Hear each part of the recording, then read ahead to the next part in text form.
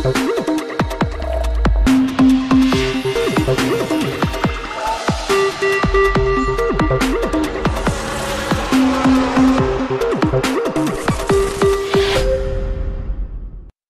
достар! Эфирде әр апта сайын ғаламтордың ең қызықты әрі пайдалы жаңалықтарын саралап сіздермен бөлісуге даяр тор бағдарламасы. Және мен зарина ахмет. Эфирден алыстамаңыздар! Алматыда ең алғашқы сары жолақ абай даңғылына түсті. Белгіленген жолмен тек автобустар мен троллейбустар жүреді. Бұл жаңалық өз кезегінде ғаламторда қызу талқыға айналды.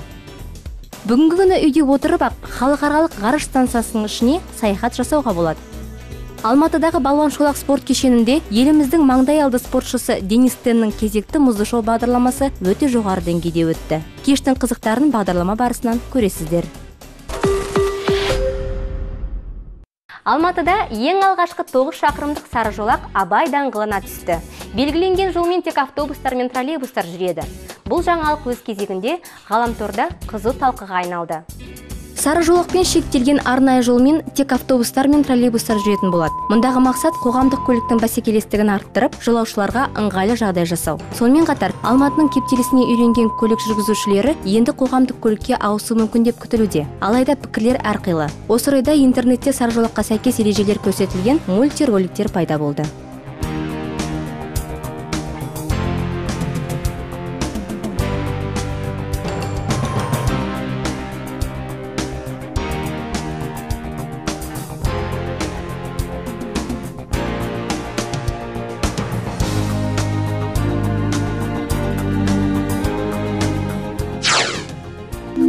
Әрине тәжірибе жасап көрген жақсы бұл жаңалықтың қаншалықты пайдасы барын уақыт көрсетеді әлі талай сарапталып өзгерістер енгізіледі бастысы дер кезінде түзетілсе болды. Қоғамдық көліктерге арналған жолақты өз басым құптаймын. Алайда тар көшелерге тиімсіз болады адамнан амал артылмайды. Алматылық көлік жүргізушілері әлеуметтік желілердің көмегімен жылдамдық өлшеуіш құралдарды алдап соғуда. Айыппұлдан қашып құтылудың айласын әділбек испанбетов пен артем фаткулов есімді тапқыр жігіттер ойлап тапқан. Олар ғаламтор кеңістігіндегі жүргізушілердің бейнеқақпандардың мекенжайы туралы ақпараттармен бөлісулері үшін арнайы парақшалар ұйымдастырыпты. Естеріңізде болса биыл көктемде алматыда үш аяқты креспе құрылғысы пайда болған еді. Осы орайда алматылық көлік жүргізушілері қомақты айыппұл арқаламаудың әдісіне көшкен. Олар мобильді қосымшада арнайы топ құрып қаланың қай бөлігінде кептеліс қай тұста камераның жасырынғанын бір біріне таратуда. Вайбердегі тың үрдіс көптеген көлік жүргізушілерінің көңілінен шыққаны хақ. Все началось с того что пришел штраф.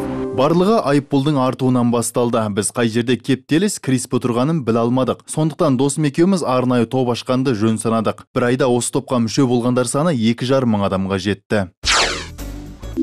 Бастысы рұқсат етілген жылдамдықтан асырмай өз жолыңмен жүрсең болды. Сенде ешкімнің шаруасы жоқ.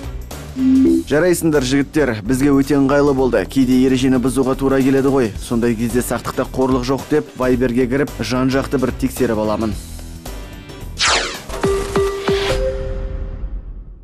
Ғаламтор бетіндегі халық назарына іліккен кезекті бейнеролик. Бұл жолы қаламыздың тұрғыны нұғман айдосов ептілік танытып жол бойындағы кептелісті сейілткен. Ютубте жарияланған видеоны осы уақытқа дейін 250 мыңнан аса адам қарап ризашылықтарын білдіріпті.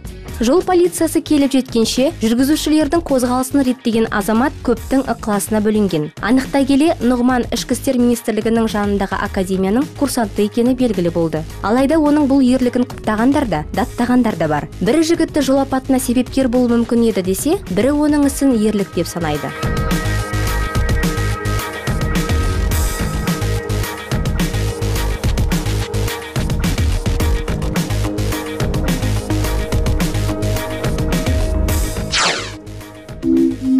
Қоғамдық міндет деп осыны айт. Жігітті айыптағандарды түсінбеймін. Ол өзіне сенген соң істеп отыр ғой. Меніңше бұл жігіт батылда ер жүрек.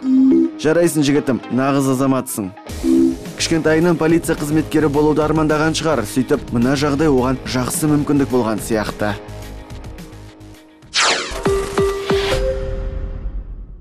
Жақында ғаламторда бір қызықты ақпаратқа тап болдым. Онда көп жағдайда жол апаттарына себепші болып жатқан жүк көліктерді айналып өтуді қауіпсіз етудің амалы жайлы айтылған. Қарап отырсақ қарапайым техниканың көмегімен талай апаттың алдын алуға болады екен.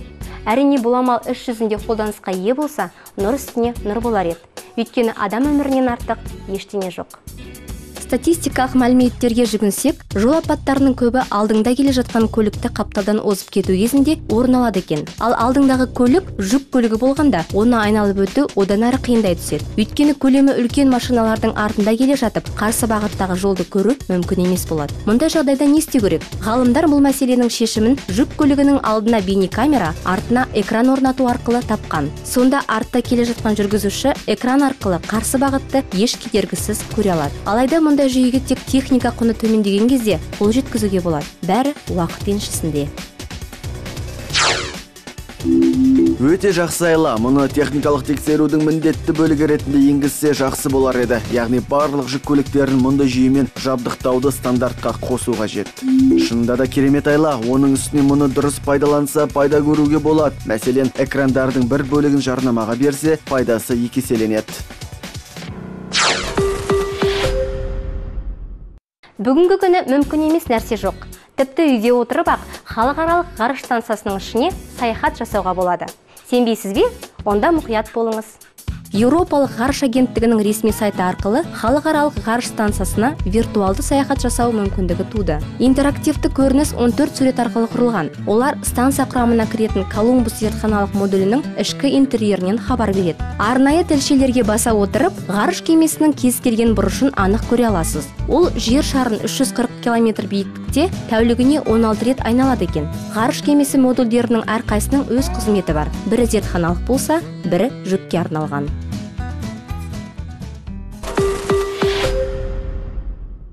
Полицияның түрлері көп. Салық жол қаржы және әскери полиция. Ал ғаламтор полициясы жөнінде естіп пе едіңіздер? Атақты заңгер жангелді сүлейманов әлеуметтік желідегі парақшасында осындай қызмет түрін енгізуді ұсыныпты. Осы жөнінде ғаламтордағы пікірлер қандай? Соны білейік. Атақты қазақстандық заңгер жангелді сүлейманов әлеуметтік желідегі парақшасында елімізде ғаламтор полициясын құруды ұсынды. Оның айтуынша мұндай полиция ғаламтор қолданушыларының арасында қылмыстық іске қатысы бар немесе зұлымдық жасауды жоспарлап жүргендерді анықтайды. Сондықтан мұндай қызметкерлер көп жағдайда қылмыстың алдын алуға септігін тигізеді. Ғаламторда пайдаланушылар көбейген сайын күнделікті қылмыстардың саны артып жатыр. Адамдар әлеуметтік желілерде отырып бір біріне тіл тигізіп балағаттап өлтірем деп қорқытуға дейін барады. Сонымен қатар алаяқтықпен де айналысатындар көп. Қарапайым мысал келтірейін. Бір қыз бәрінен емге қаржы сұрап жүрген. Ақыры оның алаяқ екені расталды. Мұндай қылмысты қарапайым полиция қызметкерлері аша алмайды сондықтан арнайы интернет полициясын құрып құрамына посттар мен пікірлерді саралайтын IT психолог тіл мамандарын қосу керек. Заңгердің сөзінің жаны бар. Мүмкін жүргізуші куәлігі сияқты ғаламторды пайдалану үшін де арнайы рұқсат қағаздарын енгізу қажет шығар. Ақорданың баспасөз қызметі өз инстаграм парақшасында елбасының ат үстінде серуендеуі кезіндегі видеосын жариялаған. Қысқа ғана көріністен президенттің ат тізгінін шебер ұстайтыны көрініп тұр. Әрине бұл видео ғаламторда үлкен қызығушылық тудырып жарияланғаннан кейін бір сағаттың ішінде ақ екі мыңнан аса лайк жинаған.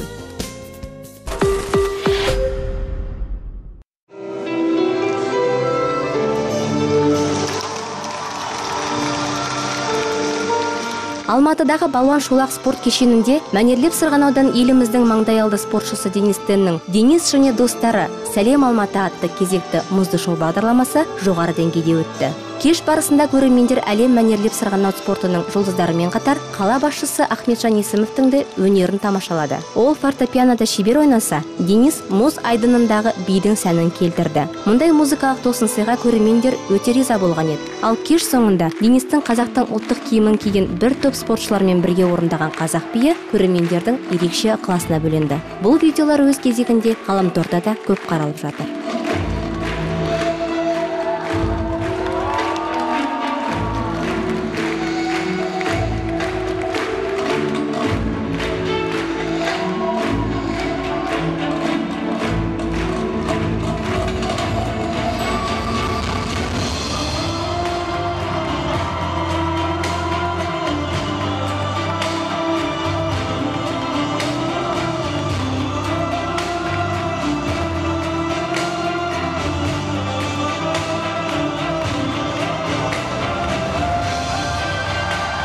Осымен маған берілген уақыт тамам сіздермен болған тор және мен зарина ахмет. Келесі аптада жүздескенше.